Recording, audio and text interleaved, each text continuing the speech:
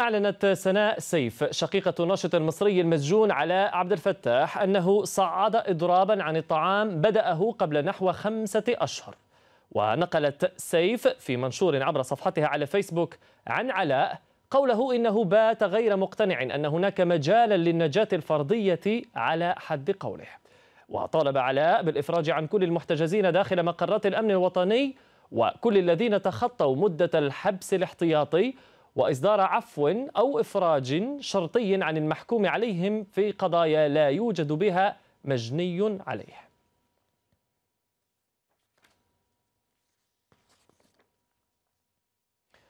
وللمزيد من المعلومات حول هذا الموضوع ينضم إلينا عبر الإنترنت من جنيف محمد زارع مدير المنظمة العربية للإصلاح الجنائي. أهلا بك سيد زارع. يعني الحكومة المصرية كانت قد أعربت في مناسبات كثيرة حتى أنها شكلت لجنة لدراسة هذا الموضوع الاعتقال والاعتقال السياسي في مصر. هل هذا الملف لا ينخرط ضمن هذه النوايا من طرف الحكومة؟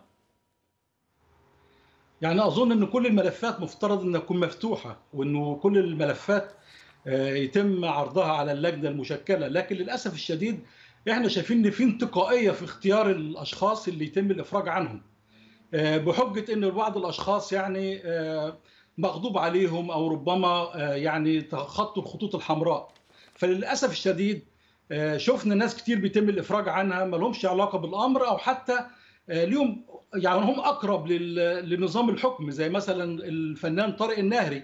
يعني جرائمه جرائم بتاعته خطيرة عمل يعني عنف حرق المجمع العلمي واخد 15 سنة سجن لكن بيخرج بسهولة. لكن على الضفة الثانية هنلاقي علاء عبد الفتاح وهنلاقي آخرين للأسف يعني مغضوب عليهم وبيتم التنكيل بهم ليل نهار.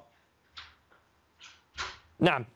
ماذا عن مطالب يعني الآن سيف عبد الفتاح يطالب بإطلاق سراح باقي المعتقلين يطالب كذلك ويقول إنه إنه ليس هناك أي أمل يعني بجانب هذه المطالب هناك يعني غياب أو إحباط من طرف سيف عبد الفتاح في رأيك لماذا؟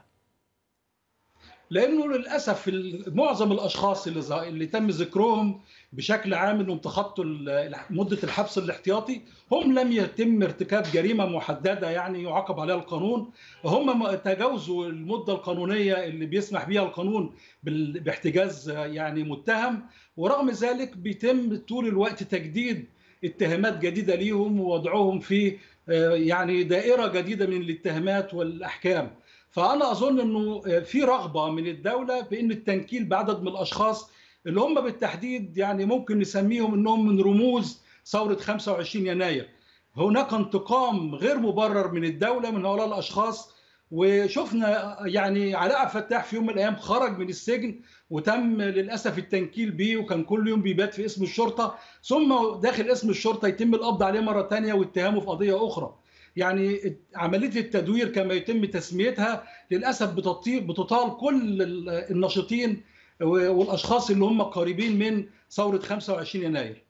نعم يعني ماذا عن حالته؟ هل تتابعون حالة يعني سيف عبد الفتاح أخته تقول أنه الآن يتعرض إلى موت بطيء وهناك يعني حالة الحقيقة مزرية تصفها في منشورها على فيسبوك، هل تتابعون هذه الحالة وهل هناك مخاوف من من جانبكم بخصوص صحة بل وحياة سيف عبد الفتاح؟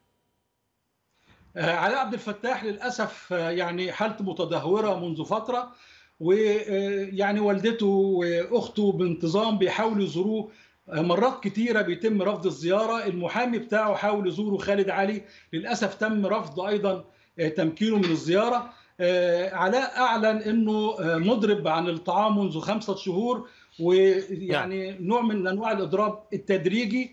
آخر مرة شافته أسرته يعني قيل إنه أصبح هزيل الجسم ضعيف بشكل يعني كبير. فأنا أتصور إنه وضعه الصحي في تدهور مستمر. وهو منذ فترة للأسف أيضا نتيجة التنكيل ونتيجة عدم وجود رؤية وأمل في المستقبل يعني ربما هدد بالانتحار. وأسرته خرجت ويعني حملت الدولة إنه الإجراءات اللي بتتم معاه والتعسف لدرجة إنه كان يعني لشهور طويلة ممنوع من التريض ومن الخروج للزنزانة. ولما خرج أسرته احتفلت إنه مجرد الخروج من الزنزانة والتريض أيضا كان كل فترة أسرته بتستلم جواب منه بانتظام. تم منع الجواب لفترة طويلة يعني. فللأسف يعني التنكيل بعلاء عبد الفتاح واضح جدا وظاهر للعيان وفي انتقام منه زي ما قلت طول الوقت. نعم. هو وأسرته لأنه حتى أخته أثناء الزيارة في مرة من المرات يعني تم الاحتكاك بيها وتم يعني القبض عليها وقضت في السجن سنة رغم إنها يعني كانت بتزور أخوها مش أكتر من ذلك. والدته أيام طويلة بتبات قدام السجن وهي أستاذة جامعية.